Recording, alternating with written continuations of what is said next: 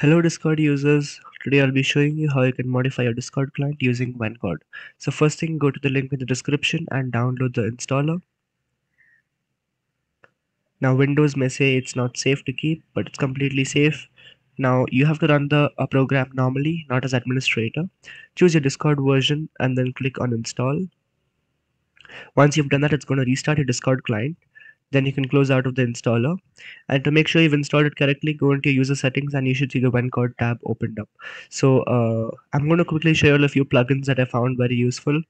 So first thing if you're broke like me and you don't have money to buy Nitro uh, you can search up for fake Nitro and it gives you all the Nitro perks that you've been looking for for absolutely free. That means you can stream for at at uh, source uh, resolution at 60 frames per second. You can use any emojis anywhere and you can also use the discord uh, discord's custom uh, themes. So just enable the plugin and restart. Now keep in mind you will have to keep restarting your client after every plugin that you add. It is a bit painful but if you want you can uh, forward through the video see all the plugins that i use enable them at once and then just restart your client once and for all. I figured this out only while doing this voiceover so i'm really sorry if the video is unnecessarily long but um, this is how it happens so uh, as you can see i'm using any emoji i want in the chat now i'm going to navigate to a voice channel and i'm going to show you all that i can stream at whatever resolution i want and at whatever frame rate i want that is uh, look at that i can stream at source 60 fps without nitro in fact, it even gives me the message over there saying that I need to buy Nitro.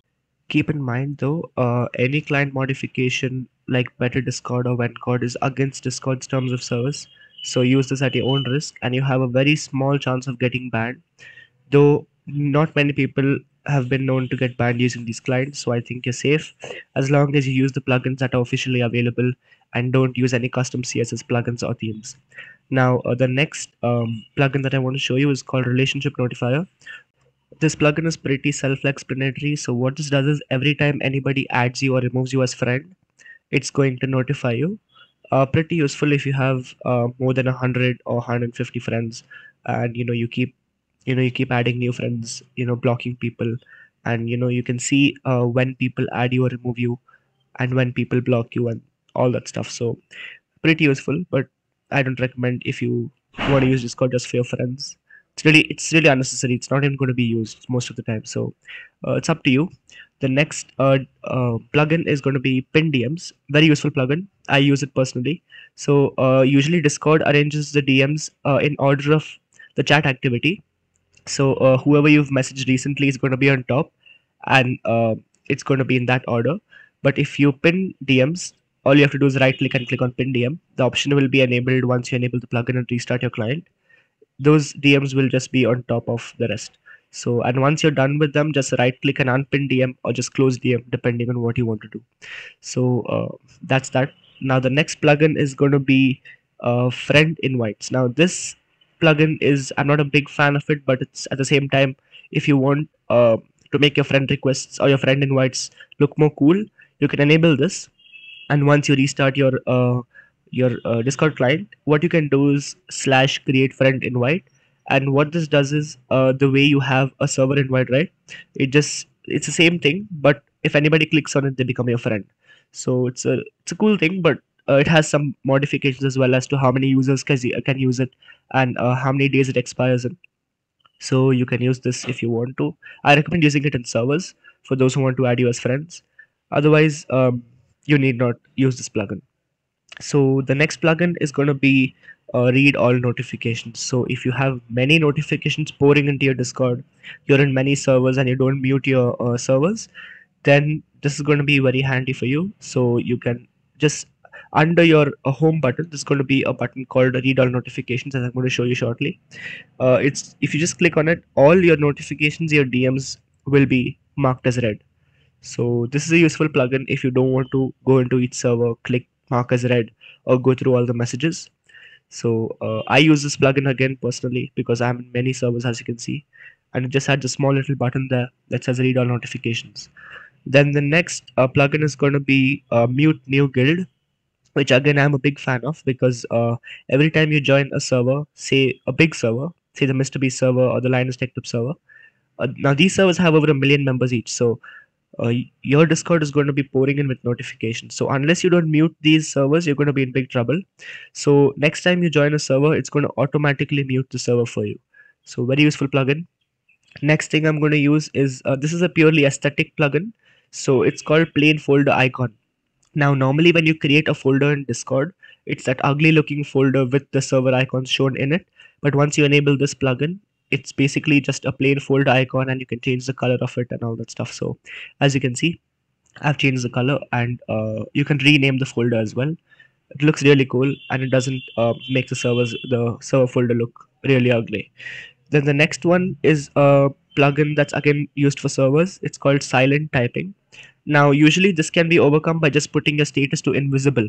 But for those of you who want to stay on DND or on online uh, status then you can enable silent typing. So what this does is while you're typing in a server uh, the message above the chat box that comes saying so and so is typing will not come for you when you type. So basically your status will remain online or on DND but while you type uh, nobody's going to be able to know that you're actually typing. You can also click on show the icon to enable it and disable it whenever you want. So it's uh, you have to obviously restart your client for doing that and you'll see in a moment the icon is going to appear in the bottom right of the screen. There you go. So that icon uh, you can either enable or disable based on your preference. Uh, so I I don't use this plugin as much but if you want to use it you can. Then the next one's going to be uh, no reply mention. So whenever you reply to a message on discord say somebody says hi and you click on the reply button and reply with say another hi. So what that's going to do is that's going to ping the person. So it's going to highlight the message in yellow and give him ping notification. So if you don't want that to happen uh, what this does is by default you can actually uh, disable it by default but um, by clicking on that off button. But this plugin does it automatically and you don't need to worry about disabling it every time. Now the next plugin is called uh, image zoom. Now this is a very useful plugin because uh, every time I get an image on Discord, which is really tiny, all I all I do is I uh, click on open in browser and then I have to zoom it into the browser. A lot of headache. So instead of that, this uh, plugin allows you to zoom the image in Discord. All you got to do is open up the image, press and hold your LMB, your left mouse button, and move over the image to zoom it. So uh, very useful plugin, and I use it uh, on a daily basis because obviously to look over images without opening them in my browser. The next plugin is going to be uh, Who Reacted. Again, self-explanatory plugin. Uh, basically, you go over to a message and you see the reactions.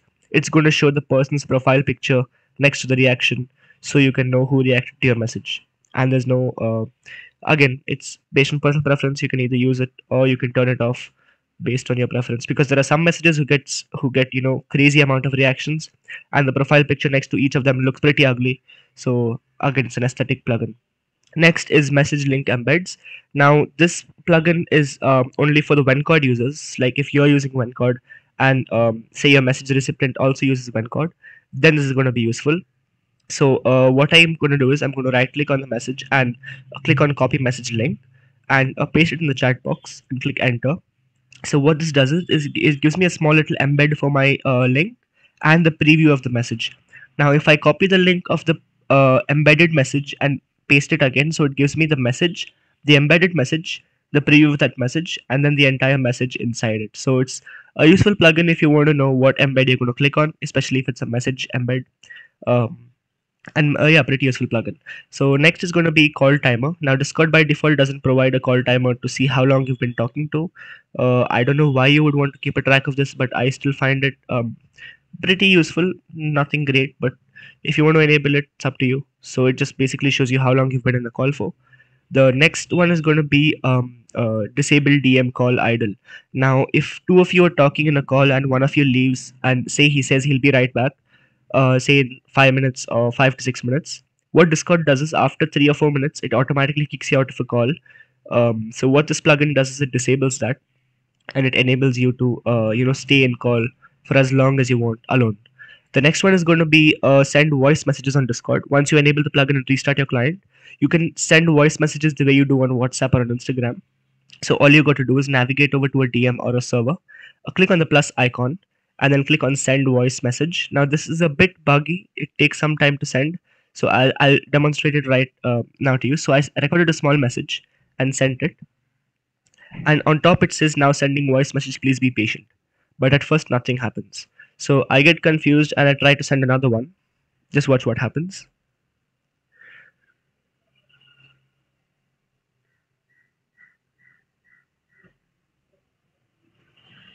So uh, here i'm sending the second voice message.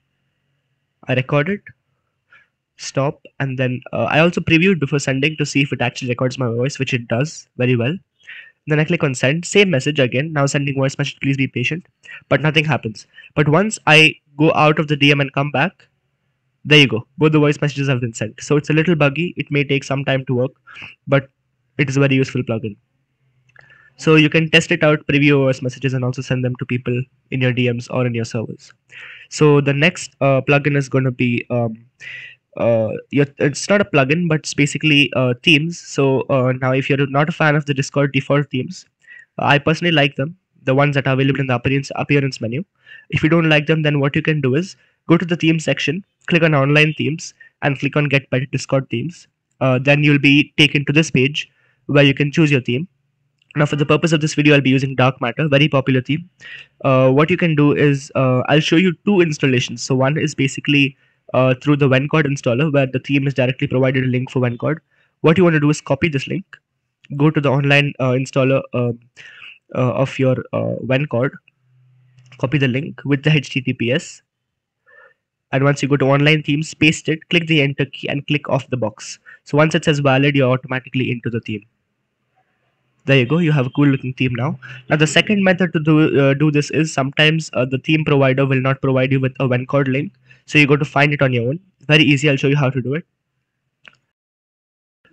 Now let's say you want to install this theme uh, called clear vision. Now uh, as you can see on the theme page they haven't provided a link for Vencord so what you want to do is click on the github link and then scroll down and see until you find the css file.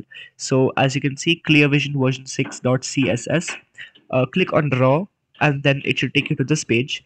Now the same steps. Copy the link with the https paste it click enter and then click off the box and the theme will get automatically applied. Now uh, same process for all the themes. Uh, you may sometimes get the Vencord link directly or you may have to find it through github. So uh, once that's done uh, you're basically good to go with Vencord. And uh, there are many more plugins and themes to explore, but these are the ones that I found best. And uh, feel free to check it out, but make sure not to use any custom plugins that violate Discord's rules in terms of service. Uh, there are some plugins that uh, keep deleted messages and bypass the NSFW age requirement and all that. So stay away from those plugins. Use Vencord as a modification to make your Discord client better, and uh, you know just stay away from all the bad stuff. Uh, now let's say you're done with Vencord, okay, you want to uninstall it. So uh, first thing you want to disable your theme. So just go to the theme section, uh, delete it from the uh, text box and click off it. It should come off. And then uh, once go to your plugin folder, go to uh, show enabled plugins and basically disable every plugin from there. And your Discord should be back to normal. But uh, Vencord will still be in installed and I'll show you how to get rid of that. So as you can see in show enabled plugins, nothing's there uh, so what you want to do is close out of your Discord and preferably quit it, or if not, just keep it open. Go to your file explorer and the directory where you install your uh, Vencord installer. Just select your path of your Discord installation and click on uninstall. And uh, that's it. It's just one simple click. Once you're done with that, you can open up your Discord and see that Vencord will be gone. So as you can see uh, in my settings menu, it's just my stable Discord version. No more Vencord, no more themes, no more plugins, just your clean vanilla Discord um so that's it for this video and i know it's been a very long time since i made a discord video. Uh and thank you so much for 100 subscribers. I will keep uploading more frequently and i also do stream regularly on youtube and on twitch. So make sure make sure to follow me there. And as always i will see you all in the next video. Goodbye